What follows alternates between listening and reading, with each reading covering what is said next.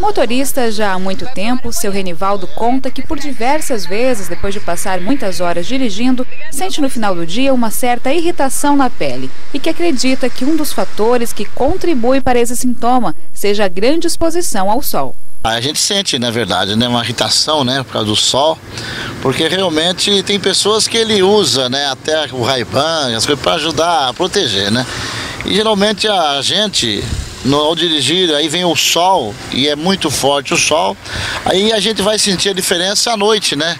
Quando a gente chega em casa, a gente começa a sentir a dor assim nas mãos, nas peles, inclusive também a gente passa a sentir até uma irritação, até mesmo no rosto, né? E essa irritação na pele dos motoristas, principalmente no lado esquerdo do corpo, é mais frequente do que muita gente imagina. Um dos motivos para isso seria a falta de proteção e cuidado que o condutor de veículos tem quanto à exposição solar. Caso do jovem motorista Everton. Para dirigir, você costuma usar algum tipo de proteção, um filtro solar, alguma coisa assim? Não, para dirigir não. Você acha que isso pode ser prejudicial para você daqui para frente, daqui a algum tempo? Ah, acho que sim, né? Porque no momento eu sou novo, ainda não tenho prejudicado em nada, mas futuramente pode prejudicar, né? Segundo uma pesquisa realizada nos Estados Unidos, motoristas expostos ao sol sem proteção estão sujeitos ao pouco conhecido câncer de pele assimétrico, isto é, de um dos lados do corpo.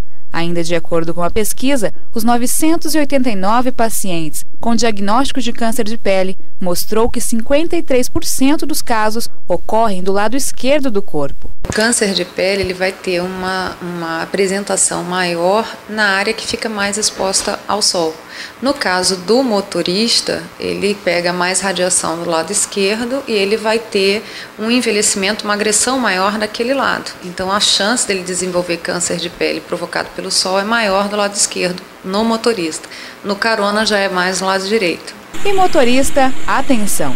Antes da incidência do câncer, a pele costuma apresentar algumas lesões que podem ser facilmente identificadas. Normalmente, o paciente ele vai ter alterações, manchinhas vermelhas que não cicatrizam, então que ficam descascando. Quando pega sol, ele, ela fica mais evidente. É, às vezes é aquela manchinha que descasca e sangra, ou passa a toalha e sangra. E normalmente esses são pré-câncer, é a ceratose actínica. Mas assim como as lesões podem ser identificadas, elas também podem ser facilmente evitadas e até controladas. O câncer de pele, basicamente, a gente é, previne evitando a exposição ao sol fora dos horários, né? Então, respeitar os horários de pico da radiação, então, é, ou antes das 10 ou após as 3 da tarde, né? É, usar filtro solar, de preferência para o motorista botar um insulfilme que repele um pouco a radiação e quem fica muito exposto na mão usar aquelas luvinhas também protetoras e usar um filtro solar acima de fator 30. E já existe também um outro tipo de recurso para evitar o problema. Só que esses são os carros. Essa proteção de Vênus 35, ela protege o ocupante do veículo é, tendo uma luminosidade de 35% no, no, interior do veículo e transmite apenas 4% dos raios UV. Essa proteção é, consta nos, nos é, vidros laterais, traseiros posteriores e no tampão do para-brisa traseiro também.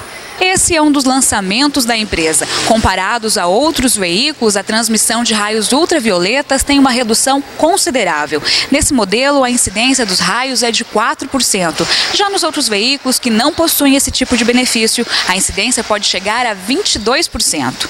E depois de todas essas orientações, será que agora os motoristas vão tomar os devidos cuidados?